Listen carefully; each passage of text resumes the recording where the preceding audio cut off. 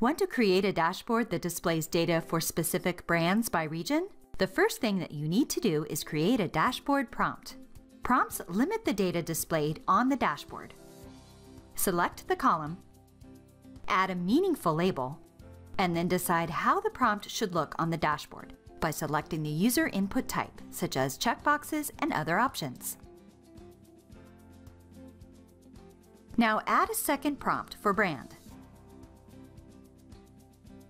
Use the display pane to see how the prompts will look on the dashboard. Use the New Column checkbox to rearrange the prompt so that brand is positioned to the right of region. Save the prompt. You need to ensure that the analysis which will be added to the dashboard respects the new prompt that you just created. View the analysis.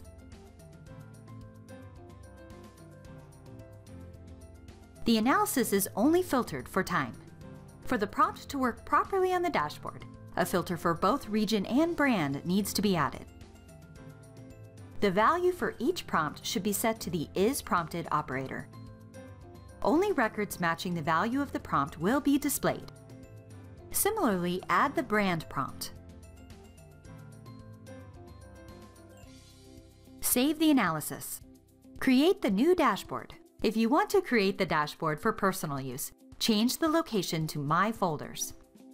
In Dashboard Builder, drag and drop the region brand prompt to the work area of the new dashboard page. Notice that a new column and section are created automatically into which the objects are placed.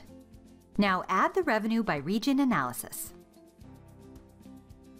It's likely that you'll need a second dashboard page in the future. Use dashboard properties to change the name of the first dashboard page. Add the second page that will contain content in the future. When in edit mode, review the print and export options for the revenue page. You can change the page settings, print layout, and so on to adjust the appearance of the printed or exported dashboard page.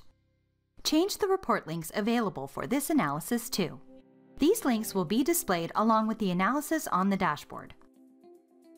Save and run the new dashboard. You can see the new page report links along the bottom of the dashboard. Ensure that the prompt works properly. Next, check the EMEA region for all brands. Print the current dashboard page. Now you know how to create a dashboard that tracks revenue, create a prompt, add content, and print a dashboard page. To learn more, visit us online at cloud.oracle.com/paas. And thanks for watching.